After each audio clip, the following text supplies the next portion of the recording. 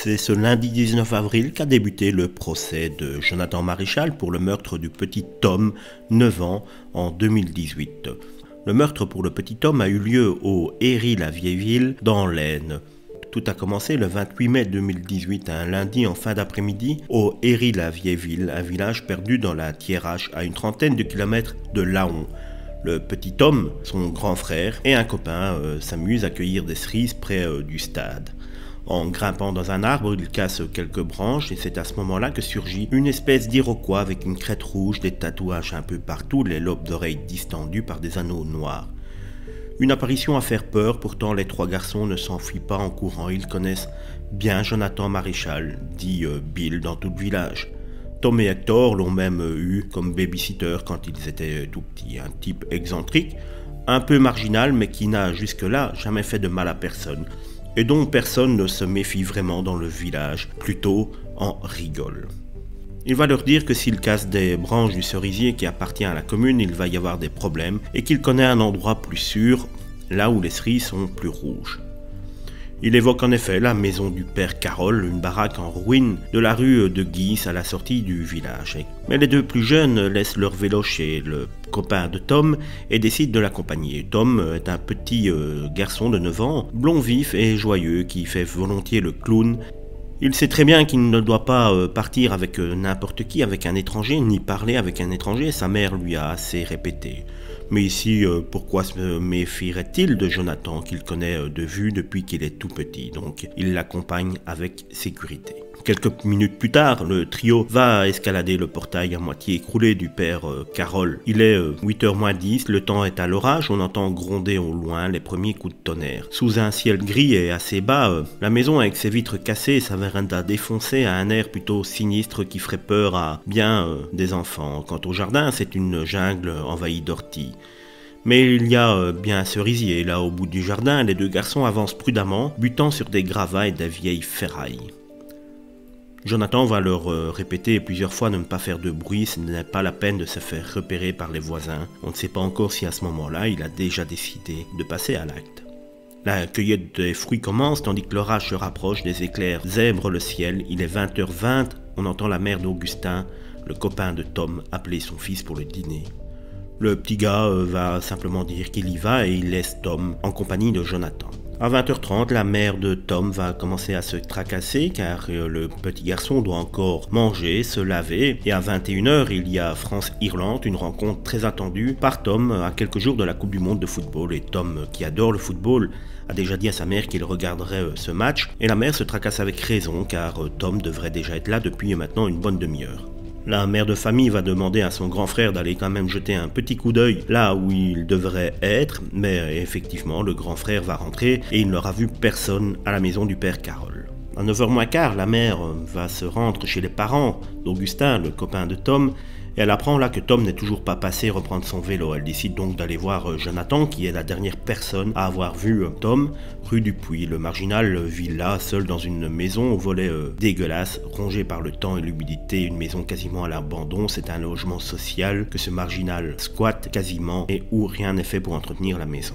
Au moment où elle va arriver euh, tout près de la maison de Jonathan, celle-ci va voir que les lumières s'éteignent. Elle va euh, malgré tout continuer à tambouriner sur la porte jusque quand euh, Jonathan va finir par lui ouvrir. Évidemment, la maman va lui demander s'il l'a pas vu. Tom, non, je l'ai quitté en partant de chez le père Carole. Il m'a dit qu'il passait prendre son vélo chez Augustin et qu'il rentrait.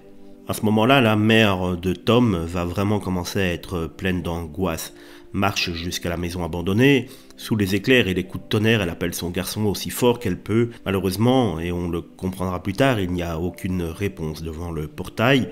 Effondrée sur la chaussée, elle remarque un tas de cerises. Quelqu'un a renversé son sac en descendant du muret. Tom, la jeune femme, s'affole et il imagine déjà que son enfant a pu être enlevé. De retour chez elle, elle téléphone donc à tous les gens qu'elle connaît dans le village, mais Personne ne sait rien, personne n'a rien vu. Il est 21h15, elle se décide enfin d'alerter la gendarmerie, puis son ex-mari avec qui elle est divorcée depuis quelques mois. Évidemment, au village, euh, tout le monde va commencer à sortir euh, dans les rues. L'information va être vite relayée. Malgré le temps pourri, la plupart des habitants participent euh, aux recherches. Plusieurs d'entre eux croisent Jonathan et le questionnent et il va finir par s'énerver en disant qu'il n'en sait rien, que quand Tom a escaladé le portail, il est tombé, ça oui, mais qu'il ne s'est pas fait mal qu'il a aidé à se relever, puis qu'il est parti chercher son vélo chez son copain. Vers 10 heures, sous euh, toujours cette pluie battante, des voisins vont entreprendre de fouiller la maison abandonnée. Euh, Jonathan est présent. Là encore, mais quand il voit les autres se diriger vers le fond du jardin, il les arrête d'un geste en leur disant que ça ne sert à rien, leur dit-il. Les orties sont trop hautes, Tom ne serait jamais allé se mettre là-dedans. Le groupe va hésiter, euh, trouve ça bizarre, mais finissent par euh, rebousser chemin en se disant que Jonathan n'a sans doute pas tort sur ce point de vue-là, que Tom n'y serait pas allé dans les hautes orties. C'est à ce moment-là que le père de Tom va arriver sur place. Son premier euh, réflexe est d'aller trouver Maréchal chez lui, euh, rue du Puy, euh, en lui demandant Tu sais où est mon fils? C'est à ce moment-là que les premiers moments d'énervement de Jonathan Maréchal vont apparaître et il va répondre Ça me fait chier d'être le dernier à avoir vu Tom. Comprend-il déjà qu'il est le suspect numéro 1 Quelques minutes plus tard, les gendarmes de Vervins débarquent à leur tour et prennent les choses en main. Euh, fini de laisser les opérations aux villageois. Premier objectif, effectivement, euh, fouiller de fond en comble la maison abandonnée du père Carole, là où euh, Tom a été vu pour la dernière fois éclairé par des puissants projecteurs, il commence à ratisser tout le terrain, mètre par mètre, sans se soucier des orties, eux. Et au pied du cerisier, il découvre malheureusement déjà une large taches de sang qui euh, commencent à se diluer avec euh, la pluie. Les visages euh, commencent à se fermer. Les gendarmes qui ont l'habitude de ce genre de, scène comprennent très rapidement qu'il y a sans doute eu un drame qui s'est passé là, à la maison abandonnée du père Carole. Puis ils vont très rapidement voir d'autres traces de sang et simplement vont les suivre comme une piste macabre jusqu'au fin fond du jardin, là où les herbes et les orties étaient trop hautes que pour Tom puisse y aller jouer d'après Jonathan Maréchal. Ils enjambent un bidon d'essence qui traîne là par terre, puis sous un tas de branchages recouvert d'une palette, il distingue quelque chose. Un gendarme va euh, directement dire Tiens, on dirait une poupée euh, là. Malheureusement, ce n'est pas une poupée, c'est Tom. Le gosse gît sur le ventre, nu, son t-shirt remonté jusqu'au cou. On lui a malheureusement fracassé l'arrière du crâne avec euh, une grosse euh, brique que l'on retrouve d'ailleurs plus loin dans l'herbe. L'assassin a ensuite tenté de faire brûler le cadavre après l'avoir arrosé avec euh, l'essence. Ce bidon d'essence, on ne sait pas s'il était là d'avance ou si Jonathan était le recherché après avoir fait son méfait.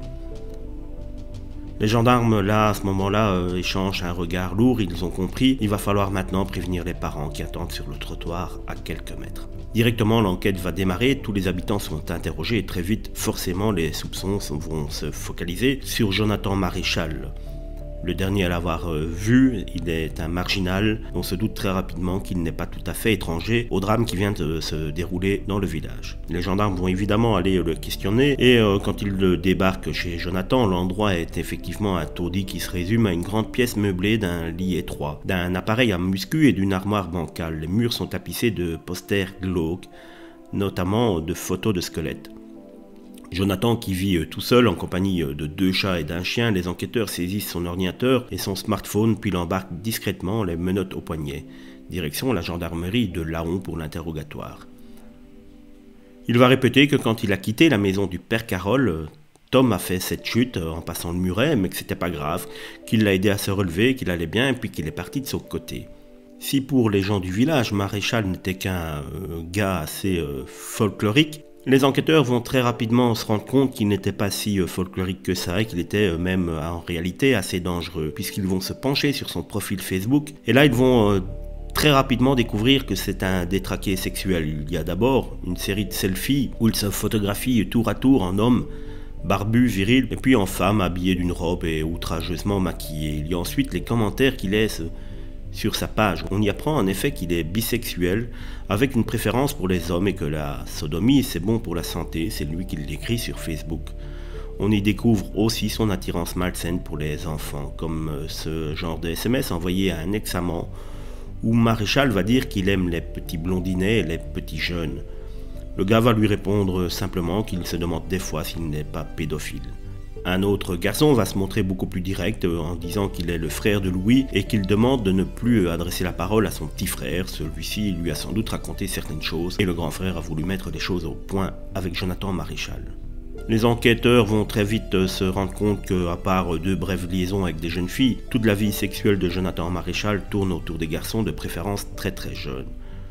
La garde à vue de Jonathan n'est toujours pas finie, que tombent les premiers résultats de l'autopsie, et là ils sont euh, véritablement abominables, puisque Tom a été violé et euh, cela post-mortem, c'est-à-dire après l'avoir tué. Des détails insoutenables pour les parents, forcément. Durant près de 48 heures, Maréchal va nier farouchement toute implication dans le crime, puis il va quand même finir par s'effondrer. Il confiera à un gendarme qu'il a des flashs où il se voit frapper le garçon avec un parpaing.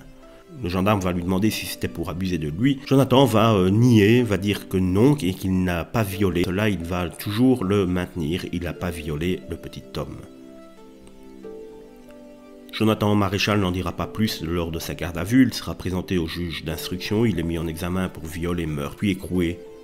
C'est le 20 juillet 2018 qu'un drone va repérer les habits de Tom cachés dans un champ, à la sortie du Héry la vieille ville. Sur une des chaussettes roulées en boule, la police va relever une trace d'ADN appartenant à Maréchal. Elle s'ajoute à celle déjà euh, prise sur le bidon d'essence avec lequel on a tenté de brûler le corps. Mais malgré ces éléments accablants, euh, Maréchal va se rétracter, il ne reconnaît plus rien, même plus ses flashs lors de la reconstitution, il s'obstine à prétendre qu'il ne sait rien. Malgré les larmes et les supplications des parents, pourtant son entêtement est inutile. Le dossier est forcément bouclé, le juge d'instruction chargé de l'affaire vient de signer l'ordonnance de mise en accusation qui renvoie Jonathan Maréchal devant la cour d'assises de l'Aisne. Et je vous le rappelle, ce procès a démarré hier, le lundi 19 avril. Pour les parents de Tom, on se doute que ce sera euh, l'ultime épreuve d'un interminable chemin de croix. Ils devront revivre minute par minute la nuit d'horreur et le martyr de leur enfant. Quelle sera alors l'attitude de Jonathan? Durant cette semaine, finira-t-il par reconnaître sa culpabilité? Ce sera tout l'enjeu de l'audience. D'ailleurs, même son avocat dit qu'il fera tout pour qu'il s'exprime car la famille du petit homme mérite de connaître la vérité.